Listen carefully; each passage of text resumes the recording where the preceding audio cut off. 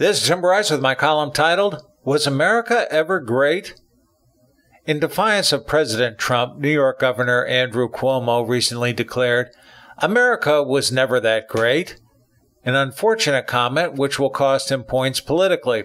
Even his father, former New York Governor Mario Cuomo, would have trouble swallowing it, as he was well known for his stories of his family's humble beginnings as Italian immigrants that America was indeed the land of opportunity.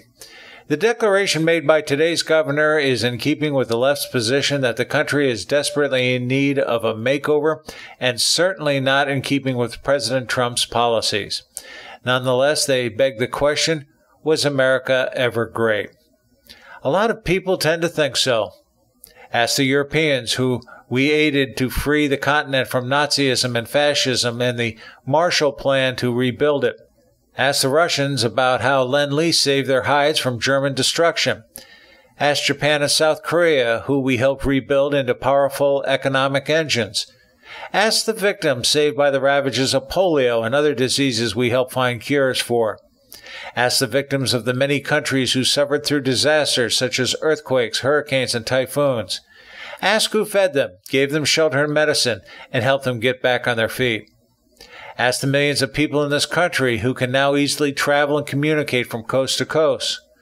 Ask the millions of people around the world who have found enjoyment in our music, films, theater, and art. And ask the millions of Americans who enjoy one of the highest standards of living in the world. They will all say, yes, America was great. By the way, has anyone forgotten we were the first country to land on the moon? And still the only ones to do so 50 years later. This little feat invigorated our country, not just educationally, but caused the creation of new technologies and jobs. However, there is a difference between being great and being perfect. Even President Trump is well aware of our imperfections, as we all should be. But this shouldn't make us any less proud of our achievements. Thanks to our melting pot of multiple cultures, there is still a spirit of invention, innovation, creativity, and productivity. Over time, though, we slipped and made it possible to ship jobs and companies overseas due to stifling government regulation and economics. We allowed others to dominate industry simply by enacting trade barriers against American products and services.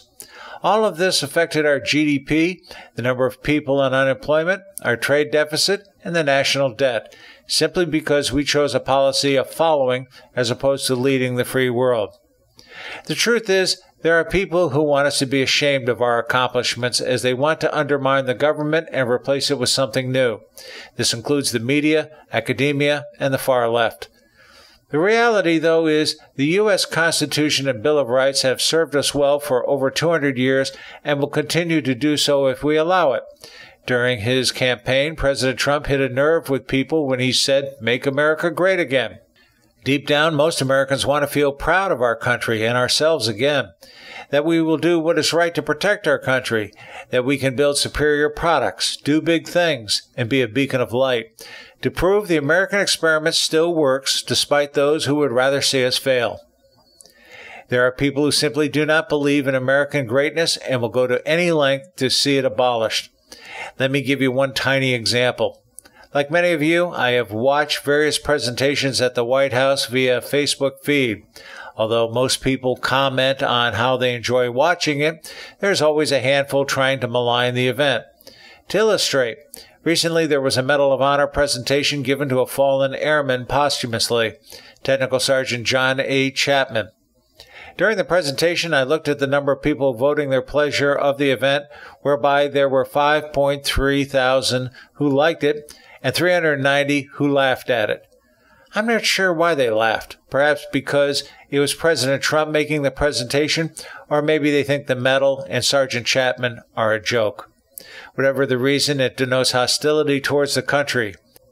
It is this small group who I am sure doesn't believe America was great. But what they do not realize, most Americans do. As we approach the midterm elections, this question of American greatness will occur again. The Democrats are playing with fire on this issue, which will be a key factor in turning independents away from voting for their party and cause them to vote Republican. Friends, keep the faith. This is Tim Bryce in Palm Harbor, Florida. Follow me on the internet at timbryce.com.